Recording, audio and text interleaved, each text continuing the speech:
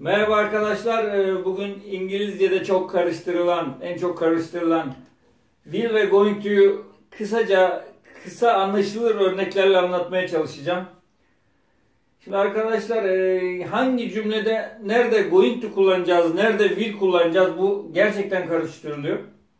Şimdi şöyle yaptım ben. Going to önceden kararlaştırılmış, olmasına kesin gözüyle bakılan işlerde kullanılır arkadaşlar. Will ise konuşma anında, o anda karar verilen işler için kullanılır.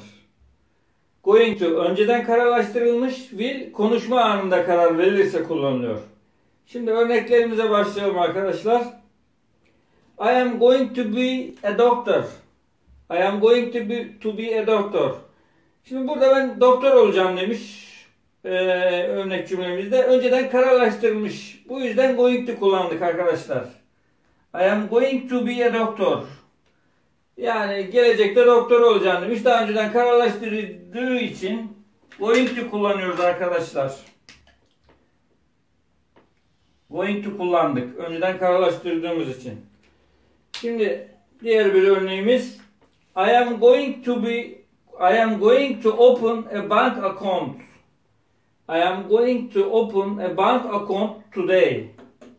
Şimdi arkadaşlar bu da önceden kararlaştırılmış bir cümle olduğu için burada görüldüğü gibi going to kullandık.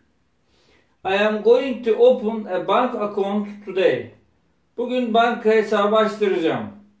Şimdi aşağıdaki örneğimize bakalım. I will open a bank account. Şimdi bu da konuşma anında karar verildiği için will kullanılmış arkadaşlar. Konuşma anında karar verildiği için will kullanılır. Üstte ne diyordu? I am going to open a bank account today diyordu. Burada önceden kararlaştırılmış going to kullanıldı. Burada da konuşma anında karar verdiği için will kullandık arkadaşlar. Evet devam ediyoruz şimdi diğer örneklerimizle. Evet arkadaşlar diğer örneğimize devam ediyorum. Ee, çocuk babasına soruyor. Ee, Dad can you repair my bicycle? Ee, baba bisikletimi tamir edebilir misin diye soruyor. Babasının cevabı da no I can't. I am going to help to my friend this afternoon.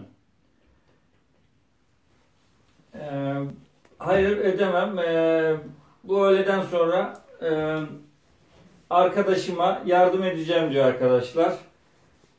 Yani burada e, kesin e, daha önceden kararlaştırdığı için arkadaşlar bunu e, going to kullandık. Şimdi diğer örneğimize geçelim. It will rain. It will rain. Yağmur yağacak. Alttaki örneğimizde de it's going to rain. Bu da yağmur yağacak arkadaşlar. Şimdi iki cümlenin farkına bakalım. Burada arkadaşlar it's going to rain de gökyüzünde kara bulutlar var diyelim. Gökyüzü kararmış ve yağmurun e, yağacağı kesin gibi ise going to kullanıyoruz burada.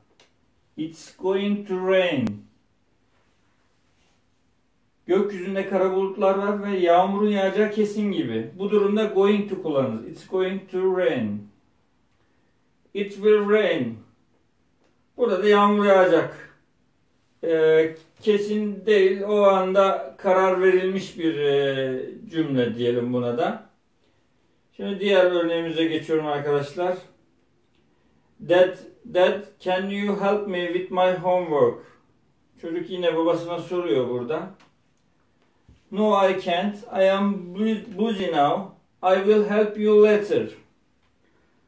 I will help you later.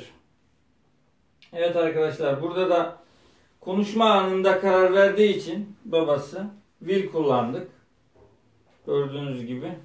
Ee, şu iki cümle sanırım e, size daha iyi anlatacaktır. Daha anlaşılmasını söyleyeyim. It will rain ile it's going to rain.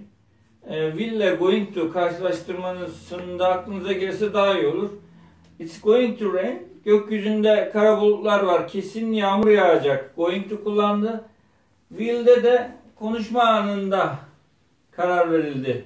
O yüzden will kullanıldı. Evet arkadaşlar İngilizce'de çok karıştırılan will going to karşılaştırmasıyla ilgili anlatacaklarım bu kadar. Kanalıma abone ol- olursanız sevinirim. Teşekkür ederim.